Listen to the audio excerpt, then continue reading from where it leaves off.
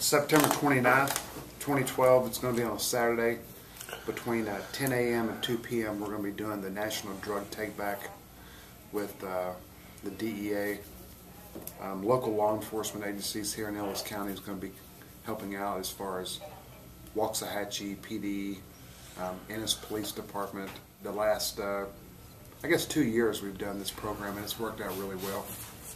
The one in Waxahachie is going to be at 1201 North Highway 77 at the uh, Office Depot parking lot. The one in Ennis is going to be at uh, Super One Food Store parking lot at 1205 West Ennis Avenue. Okay. We will have deputies at both location as well as um, members of the impact groups, the drug prevention resource groups that will be helping out also, volunteering their time. We're collecting uh, any pills that you want to turn in. Um, they can stay in the bottles. You don't have to take the labels off, you know, because they're all going to be destroyed as far as thrown into an incinerator.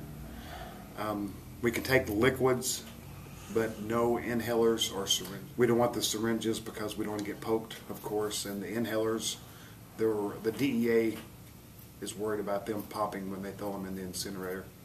Because all this stuff after at 201, I'm going to be leaving Ellis County and taking the stuff to the DEA in Dallas, and there we'll um, weigh them, and they'll send me the totals in about a week or two. If you throw them out, you know they end up in the trash, and then that ends up in our landfills, or if you flush them down the toilet, that ends up in our sewer system, stuff like that. And this way, it's it's disposed properly as far as being incinerated and, and burnt, you know, and For the full version of the story, pick up a copy of the Waxahachie Daily Light or read it online at waxahachie.tx.com. This has been Andrew Branco reporting.